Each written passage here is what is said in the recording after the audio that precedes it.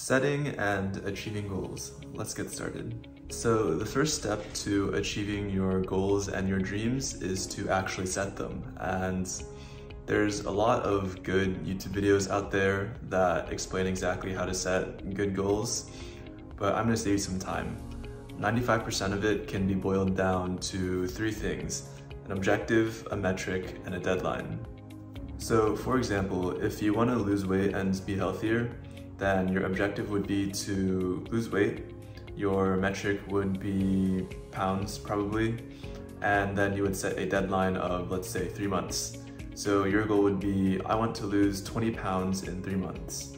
Now, I want you to pause this video right now and using this framework, set a goal for something you want to accomplish. Or if you already have goals, then maybe rephrase it in terms of these three things, an objective, a metric, and a deadline. Go on, pause the video, I'll wait.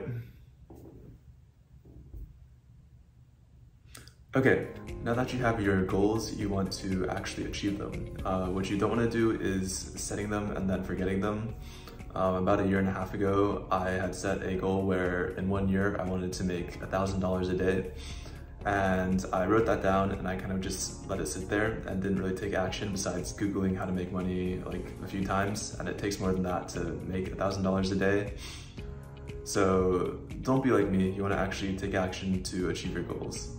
So goals are a way of outlining what you actually want to achieve, but they don't tell you what you need to do to achieve them. So that's where systems come in. So what are systems? Systems are things that you do consistently to work towards your goal. Winners and losers usually both have the same goal, but what differentiates them is their systems. A gold medalist in the Olympics and someone who placed last in the Olympics probably all had the same goal, but their systems are what set them apart. So how do you actually find these actions that you have to do in order to accomplish your goals? Um, and step one is to break your goal down into a to-do list. Most goals will have actions that need to be repeated regularly for you to achieve those goals. So back to the weight loss example, you're gonna want to exercise and also eat healthy, and then you're gonna wanna keep doing that over and over again until you see the results. So to reframe that into a system, um, you might say you're gonna go to the gym three times a week on Monday, Wednesday, and Friday. And every meal you have, you're gonna have a portion of protein and vegetables.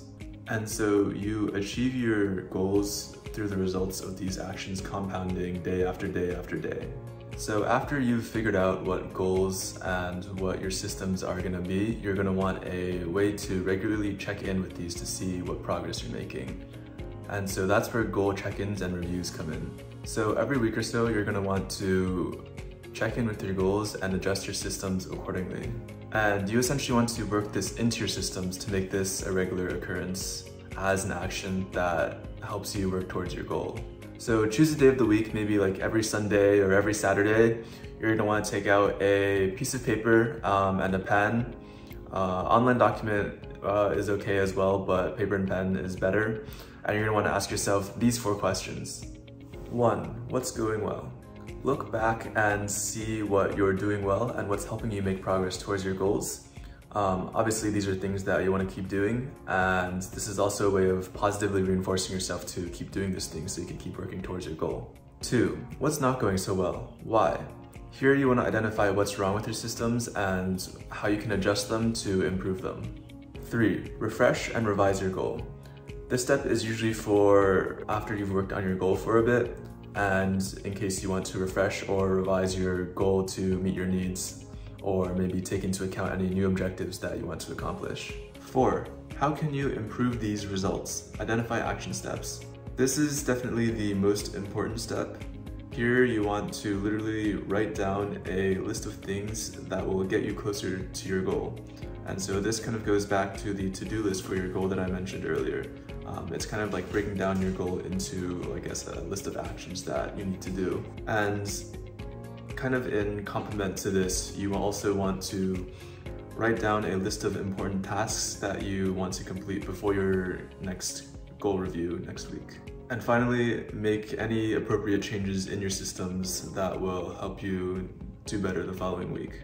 So again, write these questions down and write these answers down. Um, online document is okay, paper and pen is better, and you want to repeat this for every goal that you set. Finally, the daily journal.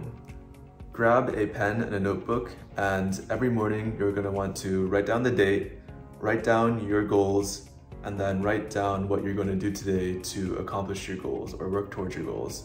And for this last section here, you can kind of grab things from your goals to-do list that I mentioned earlier.